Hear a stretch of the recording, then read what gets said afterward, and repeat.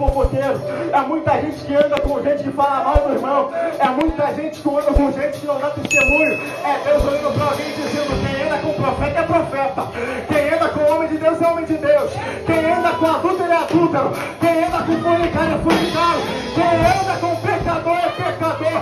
Deus está dizendo para alguém: você não é proibido de falar, mas conviver já é demais, rapaz. E olha, Elias, Eliseu, não diz que ele é profeta, mas aonde ele passa, meu amigo Brito, tem gente que ele diz: ali vai o seu homem de Deus. Porque quem é profeta não fala quem é, mas o testemunho mostra, o testemunho revela, o testemunho capacita.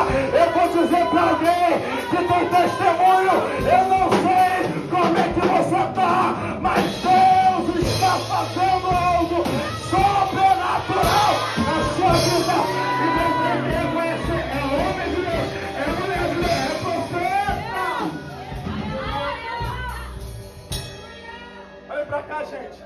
A Bíblia diz que agora há uma mulher. Após ela perder o seu marido, a Bíblia diz bem claro que ela perde seu filho. Está a ponto de perder os seus filhos. Na verdade, porque os criadores bateram na sua porta para levar eles como escravos. Eu acho algo bastante interessante. Qual é, Anderson? É que essa mulher não tem nada em casa. Olhe para cá. Ela já não tem mais nada em casa. Mas ela vai se levantar e vai até o homem por nome de Eliseu. Ela chega até ele e diz: Tua serva não tem nada em casa. Meu marido morreu. Os criadores querem levar meus filhos. Querem tirar aquilo que foi dado por Deus para aquela mulher. O profeta vai olhar para ele e vai dizer: Mulher, o que há eu te fazer? Declara-me o que é que você tem na sua casa. Ela olha e diz: Tua serva não tem nada.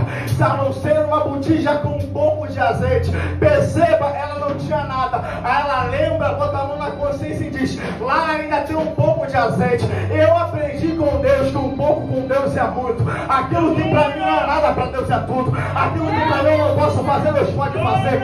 Aquilo que para mim é uma porta fechada, Deus ele faz o um milagre acontecer. E olha para cá, os criadores querem levar os filhos como escravo. Mas só que a palavra do profeta é: pega vaso, pegou vaso, entra para dentro do quarto. Entrou para no quarto, fecha a porta. Porque porta aberta, aleluia, criador levou o filho para ser vendido. Mas porta fechada é a multiplicação de Deus sobre Eu vou de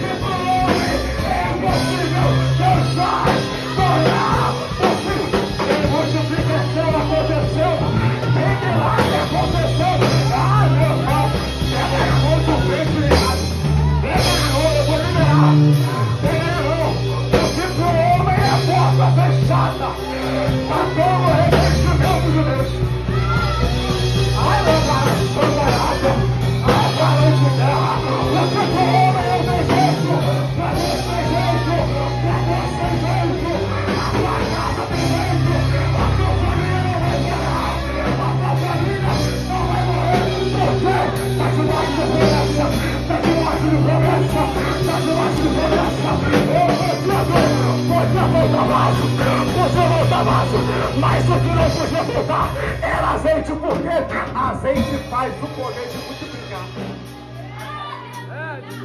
Tem pouco, tem pouco. Entra, entrou, fechou a porta. E aqui eu encerro.